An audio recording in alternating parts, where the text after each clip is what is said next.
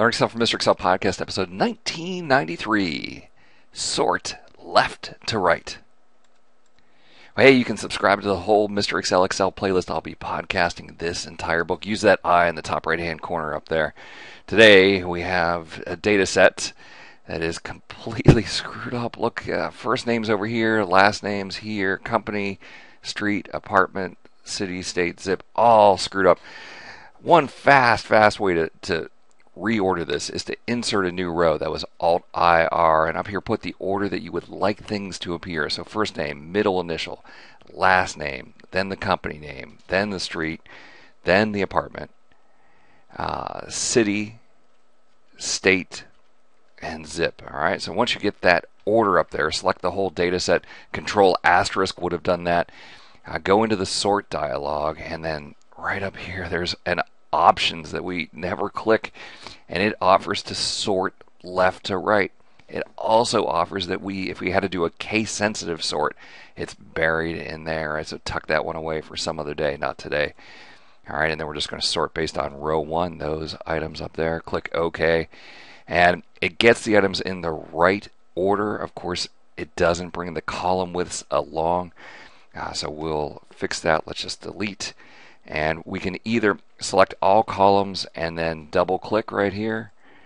Or let me undo that. What I actually do is select everything, control asterisk, and then alt O C A is format column autofit.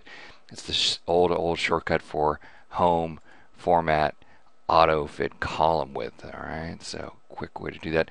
Now, hey, a bonus tip that I want to throw into this podcast. Uh, it's also possible to drag this data into the right sequence. And there's two shortcut keys that I really have a hard time uh, remembering. The first shortcut key is Shift spacebar that selects the whole row. The second shortcut key is Control spacebar that selects the whole column.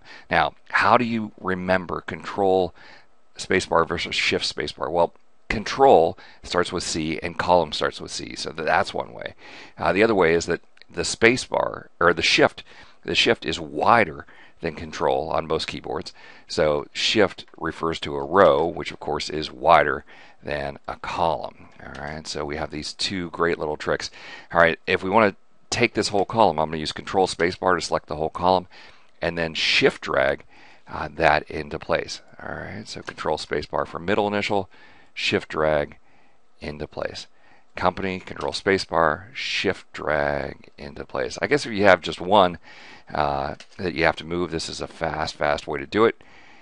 Um, although right now it seems like the uh, row, or adding the row and then sorting left to right uh, would be faster than this slow method that you're watching me do right here.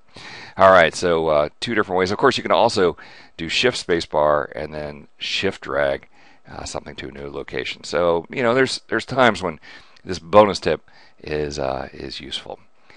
Well, all of these tips are in this book, Mr. Excel XL, the 40 greatest Excel tips of all time. Click that I in the top right hand corner. Buy it right now. You'll eventually get all the information in the podcast. Um, but you know, who wants to go back and watch a six-minute video uh, when you just flip to the right page in the book?